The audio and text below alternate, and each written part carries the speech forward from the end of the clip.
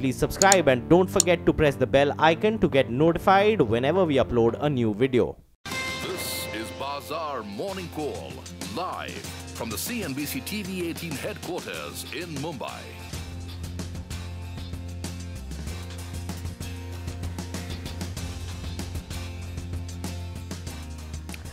Good morning. Welcome to Bazaar Morning Call. I'm Lata and with me Anuj and Sonia and it's a bright new contract, the May contract. But uh, let's celebrate the April, co- April contract first. Uh, uh, green on the screen even globally and I think the main theme that's standing out is growth has triumphed over inflation fears.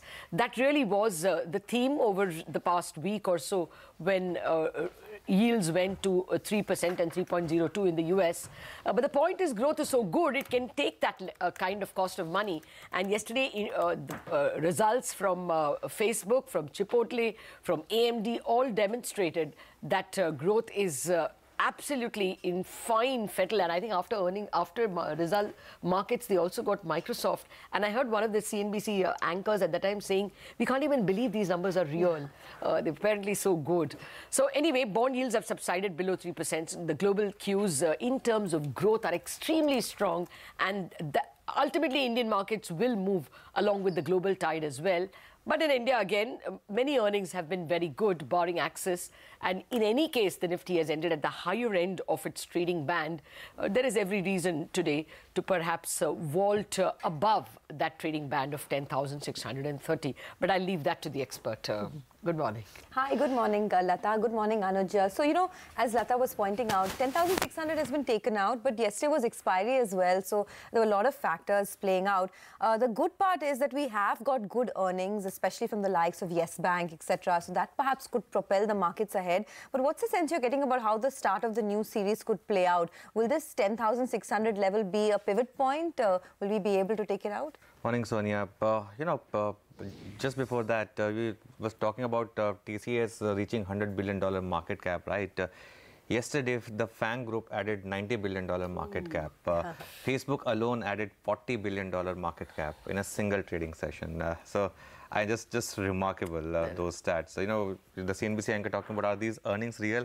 Sometimes I wonder are, are these market caps real? But anyway, the mode for the market is firmly buy on dips. Uh, and you know, that's the point I made yesterday as well that don't uh, look at Wednesday as any kind of breakdown because uh, that's not the case. And yesterday, the closing, the closing is highest since Feb 5. Uh, April series was so good that we finally closed at the highest point. And uh, there's a good chance that today also the buy on dips mode continues. Uh, What the SGX Nifty is reflecting, and once again SGX could get it wrong because it's been the case for the last four or five days, is actually now May futures, and May futures obviously will start at a premium, so uh, you'll have to adjust that. Uh, uh, the Nifty has some unfinished business at 10,700 to 750. In fact, my base case was that that could have happened in April itself, but uh, it, it didn't. So perhaps in May series it will happen. Uh, Yes Bank's earnings should keep the bank nifty in good Yeah. stead. Uh, I think uh, that's the point we made yesterday as well in closing bell that you know 10% re-rating is on the card. It happened yesterday itself, 10%. So I don't know how much follow through is left in that one. Uh, the bigger question is how much of Axis's numbers is in the price. Uh, uh, don't kid our, you know we don't want to kid ourselves. The fact is that the market knew about it uh, that Axis Bank is going to report a bit of a loss. That Uh, it was a loss because they didn't pay advance exactly. taxes. And you know, from 530, the stock had gone down to 490. And in the last 10 15 minutes, it actually rallied a bit, perhaps because of expiry. So, No, the I- only problem there is they have guided for recovery in the second half. So the Hmm. market may be a, a little worried about near-term bad news. also, you know, uh, and of course, this is not to absolve Axis Bank. Uh, horrible numbers, Hmm. and uh, you know, uh, if it was a PSU bank, uh, it would be trading at 200, and you know, we would be all, uh, you know, going after. Uh, the the, Hmm. the management. management, uh, like like anything uh, somehow you know the the private banks uh, managements do get away but the point here is uh, uh, Shikha Sharma is on her way out we know that now uh, and the market is betting on some some big personality to head uh, Axis Bank next. So uh, anyway, that that's a different debate. Uh, on the Bank Nifty, I think first hour low would be a significant, uh, or 24,800 would be a decent stop loss for traders. On the Nifty, around 10,550 should be a decent uh, stop. For the overall market over a medium term, IT really is the leader now. And I'm not talking about day to day because intraday anything could happen. Overall, IT is the leader, and pharma has started to join in. So that would be a space to factor in. Uh, also, today Reliance would come out with numbers post market hours, so the market would factor that in as well in last hour of trade. All right, and uh, as you were pointing out, you know, a lot of big delivery-based buying seen yesterday. Yes, Bank saw about 500 crores of delivery-based buying yesterday, but that, it was not alone. ITC, Infosys, all these heavyweights saw about 400 to 500 crores of delivery-based no, buying. And Reliance could have the uh, ability to uh, take the index uh, higher several paces mm. because, of course, there will be more contribution from Jio this time. I mean, anything more to add on that since both of you track it so closely? Yeah, yeah see, uh, on Reliance, the, of course, standard disclaimer applies you know, mm. Reliance owns uh, the company, TV18 Network 18, that run the channels, NBC TV 18. I think uh, more than Jio, but yes, we've been talking about Jio. There's a little bit of that as well becoming that as well. Contributor. But uh, I, I, think uh, on refining and petchem, uh, key would be on refining because after a long time you're expecting a bit of a softness uh, in refining. Margins. But look, Reliance is known to surprise on the positive side and they are very close to delivering 10,000 crores of uh, quarterly profit. Yes. Uh, so, uh, and I, I tell you one more thing, you know, TCS overtaking Reliance in market cap and being the $100 billion company, that race is well and truly on. And, you know, you mm -hmm. will you'll see uh, you know, uh, Reliance catching up at some point. Uh, but I'll leave it to Sonia because uh, she has done the poll this time. No, of course, uh, you know, as we were discussing yesterday, Anuj, mm. Petchem is the big growth driver this time. Yeah. And on a quarter-on-quarter -quarter basis, we're expecting almost a 15% growth in the Petchem EBIT. Mm. So there could be two swing factors. One is telecom. If it gives you that 800 crore profit compared mm. to 500 crores last quarter, then that's a 300 crore, you know, swing. But Petchem is the big growth driver. So I guess that's another number. No, for me, it was not all that. Surging, yeah. I mean, it wasn't all that. It's just that the ability of the uh, group to surprise on the uh, upside yeah. and the sheer weight it has on the Nifty. So at the moment, we're only discussing Nifty. And if a big heavyweight uh, can, uh, you know, vault higher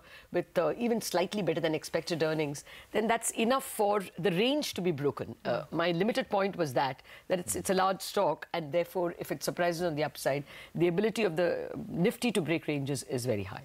Okay, well, let's take a look at what our wise experts have to say. It's going to be a long trading day, lots of stocks to look at.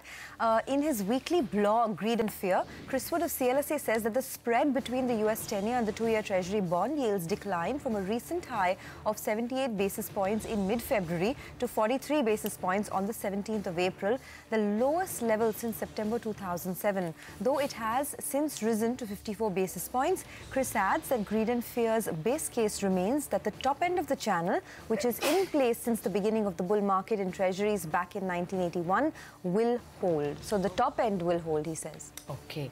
Uh, well, uh, let's uh, get to the... Uh, okay, there's more. Uh, Chris Wood has also written on the Asian subcontinent. He says that Greed and Fear will add two percentage points to the allocation in Korea in the Asia-Pacific ex-Japan relative return portfolio. This will be paid for by shaving the overweight in India by a further one percentage point and reducing Taiwan by one percentage point.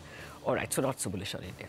Okay, let's also get you some money market views and tell you what to expect on the rupee uh, and the dollar today. Bhaskar of HDFC Bank says the political backdrop is changing as South Korean and North Korean leaders meet. The dollar index holds gains as ECB keeps its tap open. Draghi's comment that overall growth is expected to remain solid and broad-based was well accepted. Yet Bhaskar adds that the rupee remains under pressure against the dollar, though some pressure could ease going forward. He expects to see a trading range of 66.80 to 66 seven against the dollar today. I'll come to the bonds in a minute, Anuj. Uh, just to remind you, you may even remember this. It was in August of 2013 that uh, Chris Wood and CLSA were as bearish on India as possible. And they didn't see the big U-turn that came thereafter. They missed that U-turn and joined the bandwagon only much later. So, uh, I mean, just to put it, that last time uh, Chris Wood was uh, bearish, uh, uh, that's not how it played out. Uh, they got on, of course, after the Modi victory became imminent. But from August to February or March, CLSA was out of whack with what was happening. Well, on the bonds front, Bhaskar Panda adds that the yield on the benchmark 10-year bond is expected to trade within the range of uh, 7.74 to 7.80. That's a, a very, very narrow market anyways. Okay, overnight it was about the Nasdaq and of course the the, the FANG group uh, with the massive market cap addition. Here's Mangalam with the world view. Well, when earnings do well, markets do well. So that's the kind of moves that we saw on the Dow yesterday. Rallied about 200 plus points, led higher by Nasdaq because, well, Facebook. Yesterday we were talking about it that it added close around 7% in pre uh, in after hours trade, but during uh, trade, Facebook added close around 9%.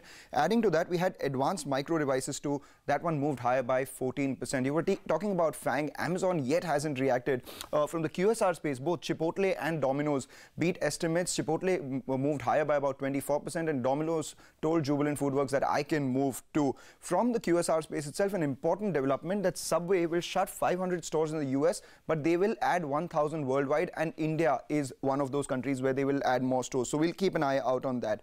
Amazon, now that one will uh, uh, will support the markets today because that one rose about 7.5% in after hours trade after the EPS beat estimates. And Amazon itself in after hours added close to $50 billion in market cap, which is as much as ITC's market cap is right now. The 10 year yield slipped back from that 3% mark, so sub 3% now, 2.75, 2.975 as we speak. And ECB too kept the interest rates unchanged. So talking about the ECB, European markets were fairly in the green. Emerging markets too did fairly well. The outperformer being uh, Brazil out there with a gain of 1.6%.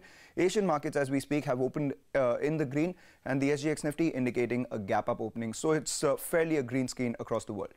Okay, thank you very much for that. Uh, uh, that's as green as green can get. Uh, well, uh, before we take a break and get to all the micros in terms of the top 10 list of stocks, we'll watch. Uh, here's some opinion. Cash levels are low globally. That's the word we got from Ruchir Sharma of Morgan Stanley Investment Management. An exclusive chat with CNBC. Uh, Ruchir Sharma shares his outlook on global growth momentum. Dollar really hasn't reacted much to this uh, change because this is very much a US centered event in terms of what's going on. So if you look at the dollar, it, uh, it has barely budged. Uh, like even over the past few months as interest rates have gone up. And this, I think, is something which should help international markets a bit because the dollar is still in a bear market. Yeah. So if you look at the history of the dollar, the dollar tends to move in long cycles of about five to seven years uh, within a range. And we're just two years into the dollar bear market after having had a bull market for five to six years. So I think that is something which provides some cushion, I think, to international markets. But there's no doubt that the US is the most expensive market out there and the price of money is changing out here at a time when economic growth also seems to have peaked globally. I think that the big sort of issue here is the fact that we have had this massive bull market, but there are three Ds which have always been a concern, which I think are going to come back into focus. And for me, those three Ds basically are demographics, deglobalization, and debt. I think that, we, uh, that those three Ds are going to come back much more into focus in the conversation over the next few quarters. And I think that this demographic point is still so misunderstood that why can't economic growth go back to 3, 4 uh, percent when your labor force is growing at such a slow pace? It's so hard right. to sort of you know get back to those sort of growth rates, and we still have that anchoring bias. All right, that's an important uh, point he makes. Demographics, deglobalization, and debt. They're going to be the three Ds to watch out for. And don't rule out more debt coming on board. Uh, we'll take a break on that note. We'll keep getting you snippets of that conversation through the course of the day. But on the other side of the break, we'll get you CNBC TV 18's top 10 list of stocks to watch. Uh, for now, the Asian markets are, uh, some of them are actually doing quite well after what happened on Wall Street, but everyone's still reeling under that historic summit where North Korea and South Korea met and shook hands for the first time in a decade. That's the big talking point that we've had over the Asian markets. Of course, our own markets are also doing pretty well. Let's see how the last trading day shapes up. Um, our research team is here to give you the list of top 10 stocks to watch for the day. Anuj, what are you looking at? Okay, uh, Sonia, just a trivia. You know, which which is the biggest compounding banking stock in India over the last 10 yes, years? Yes, Bank. It's actually Kotak Mahindra Bank. Okay. Uh, oh, really? Yeah, yesterday it hit all-time high. It's a stronger bank than HDFC Bank. And, uh, you know, uh, just just see the, the chart of uh, Kotak Mahindra Bank. Uh, phenomenal. And, you know, it, uh, this is, of course, not a day call. It's just, you know, my mm. memory jogs back to 2003 it Three. was when, you know, the rules. Kotak had a JV with Goldman Sachs. DSP had a, you know, JV with Merrill Lynch and JM had a, a, a you know venture with the Morgan Stanley, and the rules were put in place uh, where you know there couldn't have been the foreign ownership. Uh, so DSP sold the stake uh, to Merrill Lynch, JM sold the stake to Morgan Stanley. Kotak bought the stake bought from the Goldman stake. Sachs, and you know that was telling about the the big, mm. grow, you know, mm. bet that Uday Kotak was taking. Anyway, from that point, of course, it's been a hundred bagger, but all-time high yesterday as well, big delivery-based buying. So just one of those compounding stocks that you should buy on all dips. Uh, the other stock, of course, much smaller stock, Manappuram, that bounced back from 20 DMA yesterday. Four times jump in delivery volumes, though a lot of that was because of expiry factor. But that would be something that uh, I'll keep an eye on. Okay, and I guess today the market is going to watch Axis Bank. Uh, just to uh, reiterate the numbers, first quarterly loss in the bank's history, it was 2001, uh, nearly 2,200 crore in terms of losses.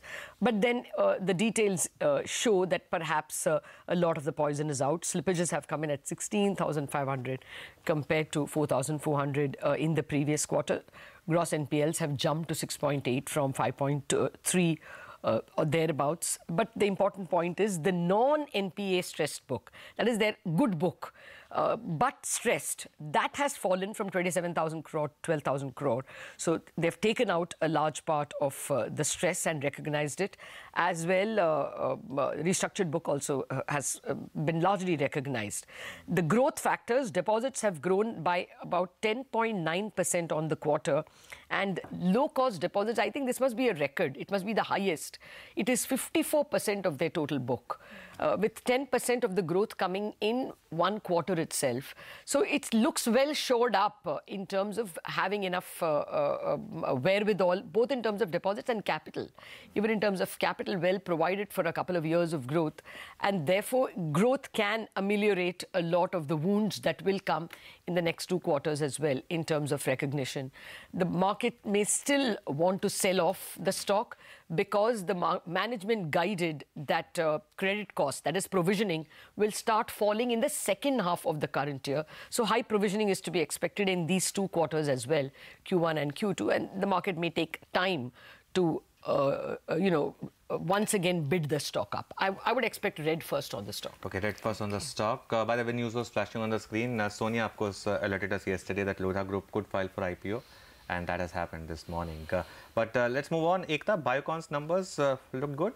Yes, in fact, the top line looked good, and we had spoken about this yesterday as well. So the revenue growth was 25% uh, this quarter versus expectations of 17%, led by the biologics as well as uh, the research services segment. The margins, however, missed estimates, came in at 20% versus expectations of 21 to 22 odd percent, and the profit was a little subdued, just about flat on a year-on-year -year basis. The call is at 9 a.m. this morning, so maybe the stock will move based on commentary as well.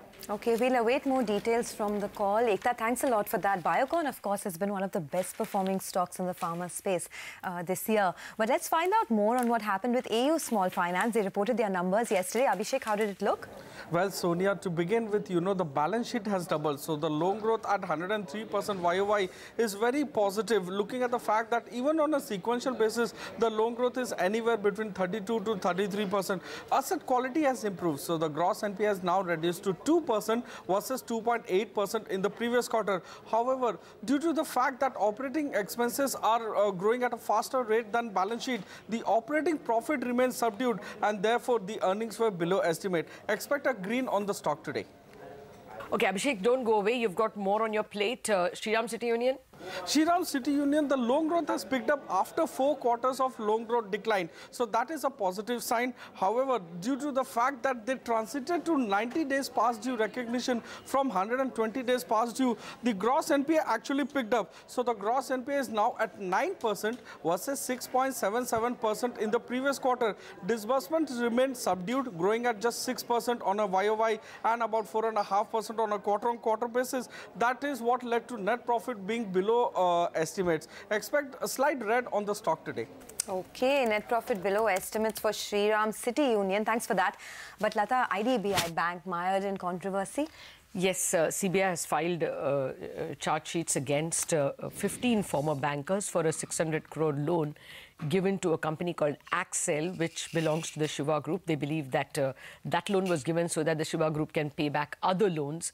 Uh, now, uh, I just want to add a personal note over here. Uh, some of the people who have been uh, named in the FIR, like uh, Melvin Rego, now chairman of Syndicate, managing director of Syndicate Bank. There's also Kishore Kharat, but Melvin Rego, a person I know personally well. I mean, largely because of the coverage of the banking sector, I think the CBI is doing a major disservice.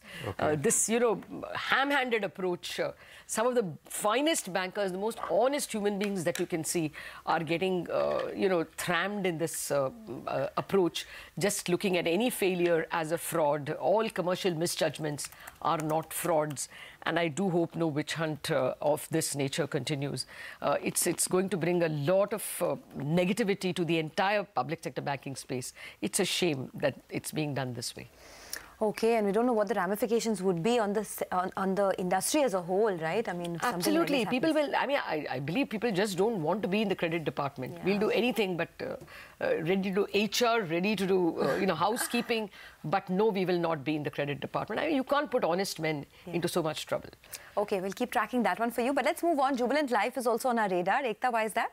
Uh, well, the US International Trade Commission has decided to investigate a company, Bracco Diagnostics, complaint which was filed in March of 2018 against Jubilant Life's Ruby Fill, which is basically syringes, saying that they have uh, they have infringed three of their patents. So we could probably expect a little bit of red on that. Okay, Ekta, thanks a lot for that. Uh, Abhishek, what about SBI Life? It was a good set of numbers coming in, Anuj. So the gross premium actually grew by 26% on a YOY basis and about 36% on a sequential basis. Their persistency ratios have also improved. The 13-month persistency ratio is now at 82.3 versus 78.4. 61st month persistency ratio has also improved. The margin has also improved to 16.2 versus 15% YOY. The return on embedded value has also improved. So overall, good set of number. Expect a green on the stock today. It's the ancient Indian tradition. Uh, when, as you age, your children work for you. That's what's happening for SBI. Okay, Yash is here. Uh, PNB, same story. Uh, filing for sale of uh, insurance wing. Well, Lata, I expect three stocks to remain in green today. The first one, as you said, of course, is Punjab National Bank. The second one is Jammu and Kashmir Bank. And the third one is Elpro International. All three stocks on the back of the same news. Sources share with CNBC TV 18 that PNB MetLife has filed its draft IPO papers with the insurance regulator IRDA. Now, through this particular IPO, Punjab National Bank is likely to dilute approximately 10% and raise 1,000 to 1,500 crore. And other two stocks, Jammu and Kashmir Bank as well as Elpro International, are also likely to participate in this particular PNB MetLife IPO. Okay, Yash, thanks a lot for that. We'll keep an eye out on that. But Fortis, the board has actually delayed the deliberation on the deal because now I understand, uh, we understand that they've inducted three new people on the board. Ekta? Yes, absolutely. Well, this had come up when Eastbridge had recommended that there should be three new inductees into the board, and uh, they had called for an EGM with regards to this. So yesterday, the board met, and remember that Renuka Ramnath has anyway stepped down from the expert panel advisory committee. So the board has asked those three panel members who have been recommended, or rather three members who've been recommended by Eastbridge to come join the board and uh, hence that was what was deliberated in the board yesterday. They will continue their board meeting today and they have said that they will foc focus on restructuring of the board into today's uh, board meeting as well. So it should be positive news since they are strengthening the board uh, post a lot of criticism on it. Oh, absolutely. And I, Ekta was the first one to point out when all those bids were coming that it's a four-member board. Can it take a decision? She wrote an excellent edit on CNBC-TV18.com, and now I guess everyone's woken up to it. Uh, okay, Sonal, you a bunch of other results. I'll start with the good ones first. Tata Metaliks, uh, Metaliks, a good set of numbers. The revenue went up by 36%, and that was because revenue growth in the pig iron segment. The margins came in down because of higher cost, but the PAT went up by 37% because of higher other income and also because of lower tax rates. IEX, another good set of numbers. The EBITDA went up by 23%, and the margins also expanded by around 100,000 basis points. They saw volume growth of around 10.5% in this quarter, and also transaction fee grew, grew by around 12%. Expect that stock to be in green today. Jindal Stainless Hisar, that also saw a revenue growth of around 10%. EBITDA went up by 21% because of other expenses going down by around 28%, and finance costs also went down by 18%. Now on to some bad ones. Automotive stampings, uh, weak set of numbers. Revenue went up by 8%, but they reported an EBITDA loss versus a profit last year. So expect a red on that stock. Rallis, weak set of numbers, higher costs dented their margins. EBITDA was down by 19%. Operating profit margins came at 9% versus 11% last year. That is because other expenses went up by 23% and cost of materials went up by 32%. Essel Propack, very flattish set of numbers actually. Revenue went up by 2.5%, but margins came down lower because of higher costs. So expect that stock to be in red as well. Okay. Thank you very much, Sonal, for putting all that uh, uh, bunch of numbers. But uh, uh the greens, okay, uh, as many greens as reds. Uh, well, Anisha has got a bunch of other stocks on her radar. Anisha, you ready?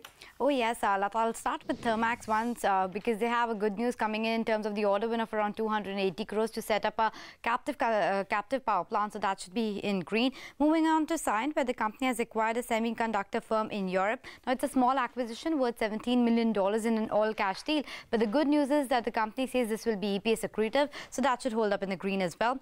L&T, wherein they've completed a, a sale of shares in L&T Technology as well as L&T Infotech and open markets. Now, this removed the overhang on Infotech as well as technology, given that the company had to sell these shares to meet the minimum public holding requirements. And good news for L&T as well because they get in some extra cash. Moving on to Gati, wherein remember the stock has been in focus. It's up about 19% this week since the company announced that there will be a board meet uh, to discuss getting it a strategic investor. Now the board meet happened yesterday, but it was a bit of anticlimax because nothing really came out in terms of information. They have just said that they're looking to get in a strategic investor, so the stock might uh, see a bit of profit booking happening in trade today. Moving on to Hawkins Cookers, where that should hold up in green because the popular investor Porinju Veliyath's funds have bought around uh, 70, 80,000 shares in the company respectively, uh, coming to around 1.6% stake. So that should also be in focus today. Back to you. Okay, thanks a lot for that. But of course, everyone will look at Axis Bank and the reaction to the numbers. Abhishek is with us to tell us what brokerages have made of the numbers this quarter. Abhishek? Well, Sonia, brokerages are saying that, you know, expect the non-watch list or the non-NPL book uh, slippages to remain elevated and therefore provision, that is uh, NPA provisions to remain elevated for the next two quarters. The operating profits from here onwards can improve because Axis Bank has increased their lending rates and the loan growth is also on the he healthier side, which should actually uh, make them improve their net interest margin from current level of 3.3%. However, the double B and lower rated profile book can see an incremental addition owing to the fact that many of the book is getting downgraded. So across brokerages target price has been cut. The range which was at 600 to 700 rupees per share has now declined to uh, 530 to 620 per share. However the recommendation is on the positive side that is buy or overweight owing to the fact that the valuations currently look very attractive Okay, thanks a lot for that. Let's see how this plays out. But here's a quick recap of the top stocks. I think we have 20 today, not 10. Stocks expected to gain Kotak Mahindra Bank, Manappuram Finance, Biocon, AU Small Finance, SBI Life, PNB, uh, Elpro International, JNK Bank, Fortis, Tata Metaliks, IEX, Jindal Stainless, Hisar, Thermax, Cyient, L&T, and Hawkins Cookers. Oh, she's giving me all the red stocks and you're in red. Okay. Red stocks, uh, Axis Bank, uh, Shriram City Union, IDBI Bank, Jubilant Life, Automotive Stampings, Rallis, Essel Propack and Gati. Okay, so we lost our breath uh, talking about all of those stocks, but we'll discuss them with our guests on the other side, our technical expert Sudarshan Sukhani.